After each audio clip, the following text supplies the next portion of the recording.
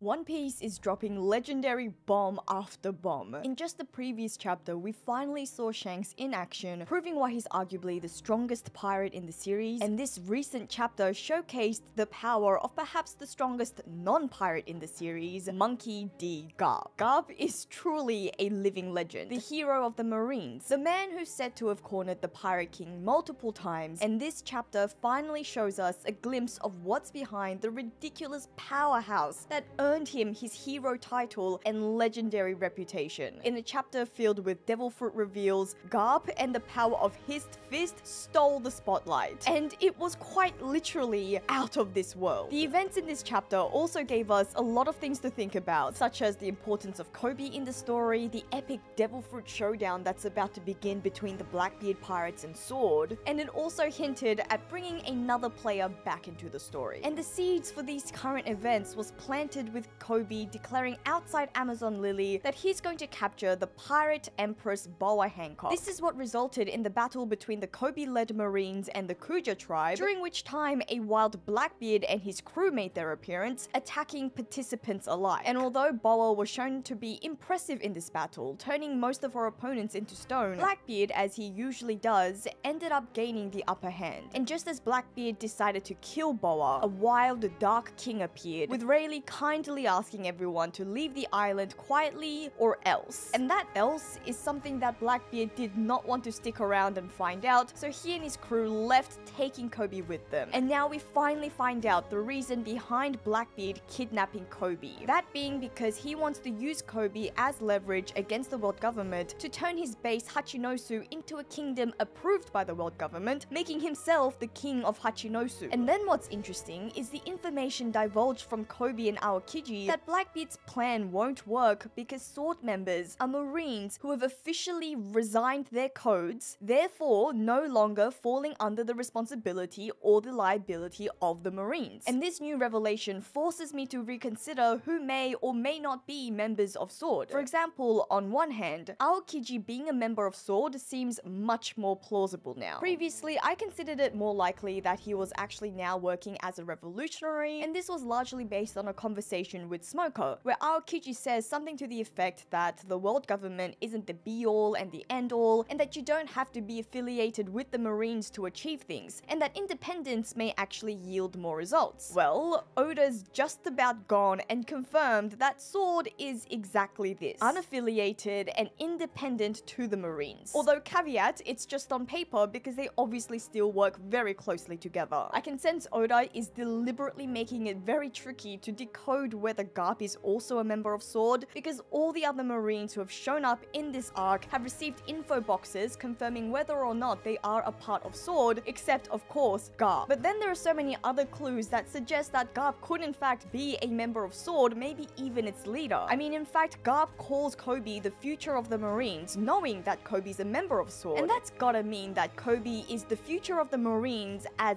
they see the Marines, not as the dogs of the Celestial Dragons doing their bidding, but an institution with integrity, perhaps unaffiliated with the world government. Personally, the most exciting part about all of this for me is the incoming meeting between Garp and Aokiji. We know that these two have a closer relationship than most members of the Marines, and Aokiji has always looked up to Garp, to whom he owes a debt for helping him sometime in the past. And the idea of an extended backstory between the two, perhaps even showing us in detail how Garp helped Aokiji, and maybe, just maybe, how Aokiji resigning from the Marines and joining the Blackbeard Pirates is part of a plan between him and Garp. Because as we've just established, after all, resigning from the Marines still allows you to be a sword member, and infiltrating the Blackbeard Pirates is a form of attacking a Yonko crew by going after their intel, which is the only operation we know Sword to be working on to date. The absence of the other Blackbeard Pirate members during their ambush against Law is explained in this chapter as Shiryu, Pizarro, Vasco Shot, and San Juan Wolf are confirmed to have stayed behind at Hachinosu, and just as we saw of their crewmates in chapter 1063, we are finally shown what their devil fruits are capable of, and I have to say, they are ridiculous. Perhaps one of the most OP devil fruits we've ever seen. Pizarro is the holder of the Island Island fruit, which as I understand it, allows him to control everything on the island, and perhaps the only thing stopping this overpowered ability is his somewhat oddly careful attitude attitude. Him saying that he doesn't want to wreck the town right after they finished repairing after the Rocky Port incident, not only does this make some suggestions about his personality, it's a scary indication of his potential. I mean, I can't imagine how much more crazy this ability could be if Pizarro goes beyond the limits he sets on himself. Vasco Shot's Liquor Devil Fruit is very fitting for his epithet, but this is the one that makes me most curious as to how it's going to be used in combat. I'm very excited for all sorts of very creative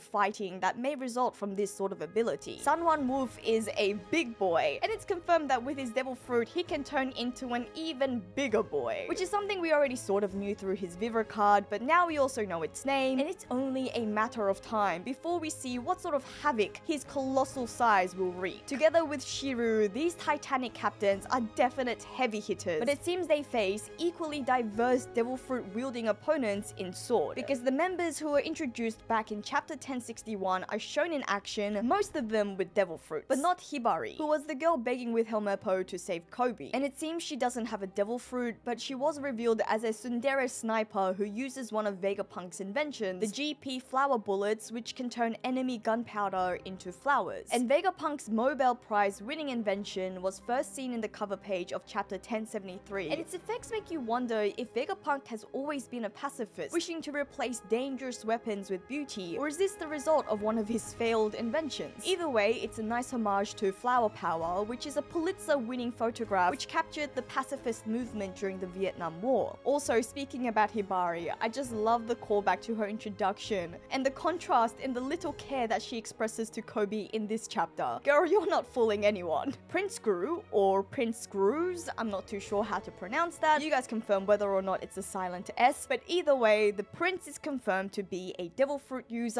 owner of the clay clay fruit, and he's seen able to create golems with his ability. Other sword members alongside Prince Screw's bodies were also turned into clay by his devil fruit. And the potential of a clay clay fruit seems boundless if you consider other devil fruits that are similar in nature. For example, we've seen Katakuri use mochi to his advantage in a fistfight, such as by extending his power and range to ridiculous extremes, although it remains to be seen whether Grus can also use his devil fruit in this similar way. The girl who was next to Prince Grus in his introduction is confirmed to be Rear Admiral Kujaku, and she is the granddaughter of Vice Admiral Tsuru. She's also a devil fruit user having the Whip Whip fruit, which gives her the ability to command anything she whips, including inanimate objects, as we've seen her whip buildings. Mommy? Oda is not slowing down with all the dumb waifus in this arc.